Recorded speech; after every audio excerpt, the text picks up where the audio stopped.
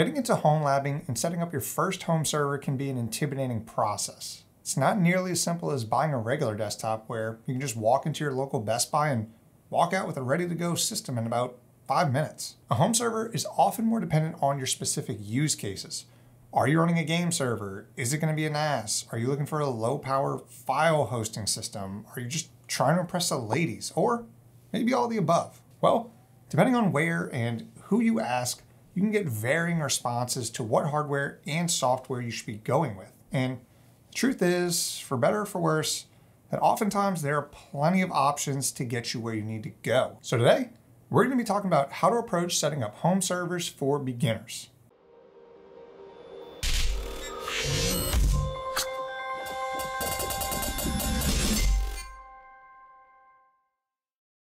Okay, let me clarify a few things first. This is for beginners. This is for the people who find the home server space intimidating and might be afraid to get started as they don't want to mess up. Let me start by saying I was in this boat a few years ago, so don't worry. I thought that when I started, I needed special hardware to run a real home server. Let me know down in the comments some of the misconceptions you had when you first got into building your home server and or home lab. I'd be interested to hear your stories. Another thing I want to acknowledge is that there will be no home server gatekeeping here. A home server is simply a computer that serves a purpose for your needs or wants. This can be a tiny little Raspberry Pi or a massive 64 core EPYC monstrosity that your girl swears is just a friend. The people who will look down on you for running a Raspberry Pi or an old desktop as your home server are losers who probably poured their milk before their cereal anyway. All right, let's get started with the first step, and that is to decide what is it you want this server to do. Don't worry if you don't have a clear idea or any specific use cases. Sometimes learning is both the journey and the destination, and that's perfectly okay. For those of you who do have specific ideas like a NAS, media server, web hosting, or DNS server, that'll make it easier to pick out hardware that aligns with those needs. So let's talk about hardware because that's often a hot topic when it comes to home servers. Now, like I said before, pretty much any computer can be a home server, assuming the software you want to run is supported on the hardware you decide to choose. What do I mean by that? Well, at the highest level, there are two major paths you can choose from when it comes to hardware ARM and x86. x86 is the platform you're probably most familiar with, which includes your Intel and AMD platforms, and can run like 99% of the home lab software out there, so pretty common. ARM is going to be your power efficient, cost effective platforms mainly used in mobile devices, but has since branched out into more consumer and desktop products, most notably the Raspberry Pi, and as of a few years ago, the Apple's M1 chips. ARM, while gaining popularity and can still support a massive collection of software, can sometimes lead to some compatibility issues for some services. So why even go with ARM? Well, like I said before, for the most part, it's cheaper and uses less power, which often leads to a smaller footprint, less noise, and less heat. Remember, if you don't need a massive NAS encoding server or plan to run heavy CPU tasks, then you don't need more expensive higher end hardware. Those of you that want to go the x86 route, let's talk about what hardware you should be looking for. Now again, keep in mind your use cases for your server when choosing the parts. For the most part, any Intel or AMD CPU can be used at the heart of your system. However, there are a couple of things to consider when choosing your CPU.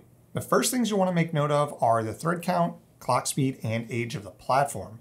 More cores or threads you have, the better your CPU will be at running multiple services at a time. For someone just getting into home labs, I'd say four cores and eight threads is a good starting point, but you can certainly go for more or less. The clock speed will determine how quickly your CPU can run each of these tasks, though the clock speed isn't everything. The overall speed of a CPU is going to be determined by a combination of its clock speed as well as its IPCs or instructions per cycle. This often isn't advertised, which is why I mentioned to look at the age of the platform, as for the most part, IPCs tend to go up as newer platforms are released.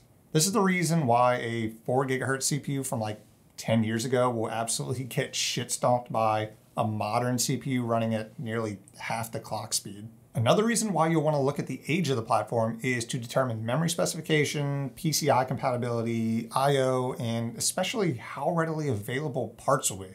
I mean, sure, you can find a really old, cheap Xeon CPU with four cores, but you may have trouble finding a motherboard to go with it. You'll be stuck using older RAM, and you'll be without some of the modern creature comforts like USB 3.0, NVMe support, and in some cases, limited PCIe slots. Now again, if you don't need any of those things and just want a cheaper system, then by all means go for it. In the end, the only things that are truly important for choosing a CPU is to make sure it supports virtualization and unless you have a dedicated graphics card that it has built-in graphics. More on that in a bit. So whether that be an Intel Core i3, Xeons, AMD, Ryzen's, Phenoms, or EPYCs, you can find out most of the time by just Googling the CPU model and looking for virtualization support and internal graphics.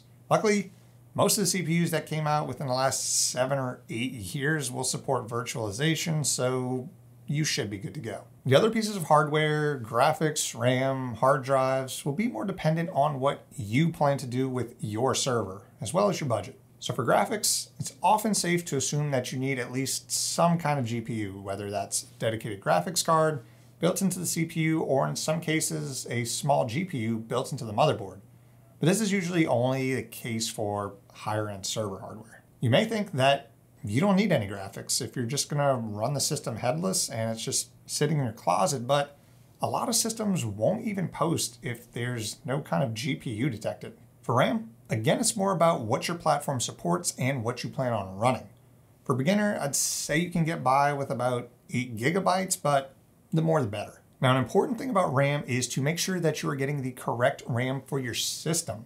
If you go with a server model CPU like Xeon or EPYC, then you'll be able to use ECC or error correction code RAM versus regular consumer RAM. ECC is a huge benefit for systems that are running 24-7 as the RAM is constantly being written to and read from. So naturally, there's gonna be some times where there's an error. In a regular system, this is where you'd see a blue screen or a crash, but ECC RAM, it can often mitigate the error and continue to work. This is why I push going with a system that supports ECC RAM. However, if you already have the consumer hardware laying around and you just want to turn it into a server, I certainly wouldn't fault you for going that route. For hard drives, this is probably the most dependent on your use case and will vary widely from person to person. If you're looking to set up a NAS that hosts ton of videos, photos, games, recipes, world domination plans, then you'll probably want a lot of hard drives.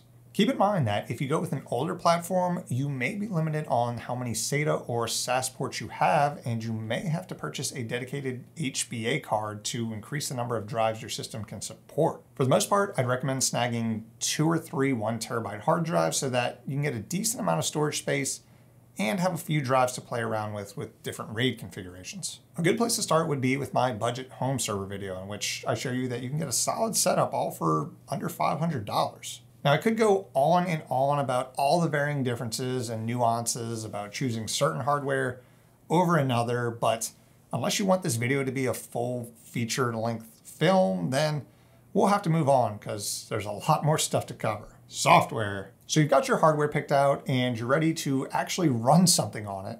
But when you look up home server operating systems, you're met with dozens of different options and everyone on the forums claims that X is better than Y and that if you use Y, you're basically an incel, but Z is okay as long as you're not running it with Q. Let me simplify this for a second. In general, it does not matter which operating system you eventually go with. For the most part, every operating system can get you where you need to go for a majority of home server services, whether you want to run Windows 10, Arch Linux, FreeBSD, Mac OS, or any dedicated hypervisor OS. Now I've already done a video about setting up a home server on a Windows 10 machine versus a basic hypervisor, so I'll link that up here and down below. It's a solid video to help you get started, and I definitely recommend checking it out. But let me give you the TLDR here. You can throw Windows or a desktop version of Linux onto your server and go with Docker to run all your services and be perfectly fine. You can also install something like VirtualBox to spin up virtual machines from within Windows. So why even go with something else? That sounds pretty great, right? Well, desktop systems are designed to be just that, desktop operating systems. Yes, they can meet your home lab needs, but If you want much more flexibility with your hardware and want to run it with much less overhead, then you want to go with a dedicated hypervisor operating system. This is an operating system that runs on your server without a desktop environment, but in most cases, offers you a dedicated web GUI that is much more suited to a home lab environment, including dedicated commands and sections to create VMs, services, allocate CPU cores, memory, storage, and even pass through hardware directly to one of those VMs. Now, there are plenty of solid hypervisor operating systems out there, but I'm going to briefly touch on the four that I'm most familiar with Proxmox, Unraid, TrueNAS Scale, and TrueNAS Core. Yes, there are others out there that are great, and I'm a total noob for not being an expert in all of them, and blah, blah, blah, blah, blah. So, three of these are Linux based, which means you get access to the best way of running services with Docker. Now, Docker deserves multiple videos dedicated to it, but for this case, just know that Docker is a widely supported platform with plenty of support that runs on Linux and allows you to spin up services with little to no overhead. TrueNAS Core is FreeBSD based, so they use jails as a way to containerize and spin up services, which in a vacuum isn't bad, but when Docker exists, it's kind of hard to justify going that route. So I even mentioned TrueNAS Core. Well, personally, I think it's the best system if you're going to go with a dedicated NAS. I run TrueNAS Core in my system, and it's honestly the most stable thing in my entire home lab. But wait, I just talked about how Linux and Docker are so great. Why wouldn't I run one of the others? Well, I am. I run Proxmox as my main hypervisor OS, and I've actually created a VM in there to run TrueNAS Core. It's running a hypervisor within a hypervisor, kind of like that famous movie, um, Shrek 2. Now this is a bit more advanced and I certainly wouldn't recommend doing this for beginners, which is why I'd recommend choosing a single hypervisor and getting familiar with that first. Now, which one should you go with? Well, that's a tough question and honestly there's no right or wrong answer. Proxmox isn't the most user-friendly, but its virtualization features are top-notch. Unraid has an extremely inviting GUI and lively community, but it isn't free. TrueNAS Scale is extremely new, but has amazing NAS functionality built right in. So do some research, ask around, flip a coin, throw a dart, whatever. If you made me choose one to recommend for a beginner, knowing nothing about what they were going to use it for, then I'd probably recommend to go with Unraid due to it being more user friendly. Now, like I said before, these hypervisors don't have desktop environments like your traditional operating systems. You'll install these on a USB drive that you flash the ISO file onto, and then once they're installed, you'll be able to access them directly using the CLI or over your network using any browser, which is pretty neat. So there you go. You've got your hardware picked out. You've got your operating system of choice up and running. You've got all the chicks all over you at this point. Now what? Well, you probably want to run some actual services. Most hypervisors come with some kind of way to host services or apps with just a few clicks. In Proxmox, you have the LXC containerization, and in Unraid or TrueNAS, you have their apps that are running on top of Docker. Now, you aren't forced to use this if you don't want. With TrueNAS and Unraid, I'd recommend to use theirs because they're built on top of Docker. But with Proxmox, I'd go with a dedicated Linux VM or container that runs Docker itself. So why do I keep mentioning Docker? Well, I'm not going to sit here and tell you that Docker is easy to pick up for beginners because it's not. It does, however, have a large community and plenty of support. And as you can see in some hypervisors, it has an entire GUI built on top of it to make it easy to run services without even having to know much about Docker at all. You can choose to go this route and learn a bit along the way, or spin up your own VM and dive headfirst into Docker and use the CLI. Either way, Docker will give you a consistent platform for deploying services no matter which Linux-based hypervisor you eventually go with. Oh, and it also runs on macOS and Windows. Neat. And remember how we talked about compatibility on ARM versus x86? Well, when you go to download a Docker image for a particular software, you can easily check the tags to see if it does in fact support ARM systems. Now, if you don't want to use Docker at all, then that's perfectly fine too. You can spin up entire VMs with whatever OS you want and run your apps there. Note that this does provide unnecessary overhead, but if you're more comfortable with that route, then go for it. At this point, you're pretty much set up and ready to go. Just a few more things before we wrap up. All these cool services running, you're probably thinking about how to access them from outside your home network. I have a few videos on how to get this set up and I'll link them down below, but just know that it is never a good idea to expose your hypervisor or firewall directly to the outside world. I know it's tempting to be able to access your hypervisor GUI using your domain from anywhere in the world, but be careful, as if this gets compromised, then your entire system is exposed. The correct way would be to set up a VPN connection to your home network and access your server that way. Another thing, as cliche as it is, is to have fun with it. Don't be afraid to try new things and mess up, assuming you're not working with important data that has no backup. You're gonna run into things that don't work the way you want them to.